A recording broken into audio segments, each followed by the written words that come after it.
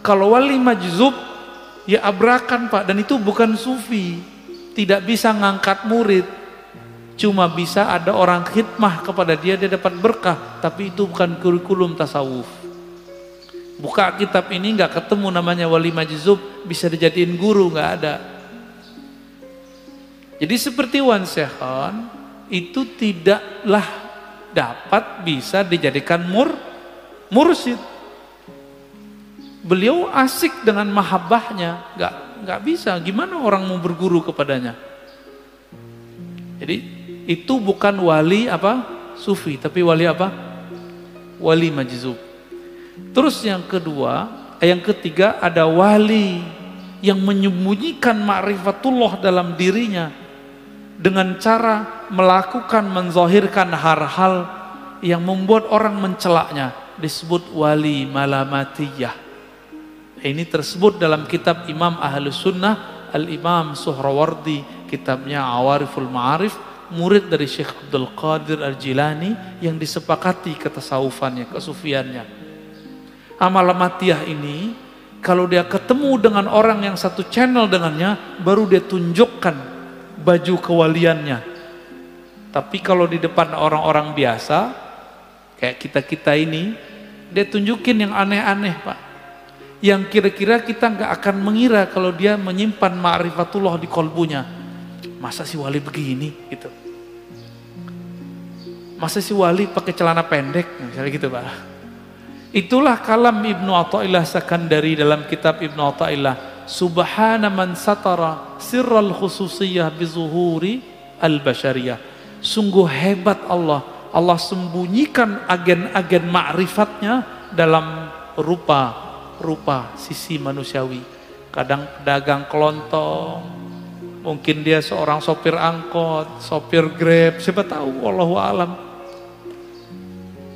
Bukan berpenampilan kayak kiai, kayak ustadz. Jadi kalau wali sufi mirip sama kiai. Kalau majzub, ya suka-suka dia abrakan. Wali malamatiyah seperti kisah Nabi Musa dan Nabi Khidir. Nabi Khidir menunjukkan maksiat Pak di depan Nabi Musa, benar nggak? Maka antum nggak akan kuat ketemu wali malamatiyah, bisa kafir, mending nggak ketemu.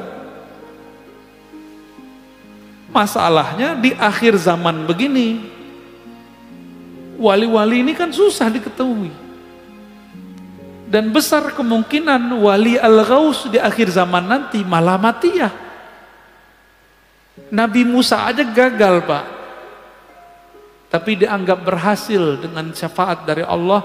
Tiga kali dia ingkar. Bener gak? Nabi Musa bisa ingkar. Loh kita siapa? Kita bukan Nabi Musa. Kalau Allah tidak menakdirkan kita bisa terima, tidak membantu rohani kita, kita bisa nggak kenal-kenal tuh sama wali wali malamatiyah ini. Wali malamatiyah ini punya trauma dengan iblis. Iblis itu dulu namanya Azazil, bertambah ilmu ma'rifatullah karena dia beramal ribuan tahun, bertambah ujub. Dia merasa mendapatkan pengetahuan, bertambah ujubnya, bertambah sombongnya supaya tidak terjadi itu, supaya orang tidak mengkultuskan dia, wali malamatiyah ini menghancurkan karakter-karakter sisi kesolehannya, supaya orang nanti menghujatnya. Di saat ada orang menghujatnya, di situlah dia kemudian tidak ujub. Itu malamatiyah. Itu bukan sufi loh ya. Jadi yang sufi yang pertama aja. Kecuali si malamatiyah sudah diperbaiki oleh Allah lahirnya baru dia nanti persis kayak sufi. Kapan itu kita nggak tahu ya. Uh,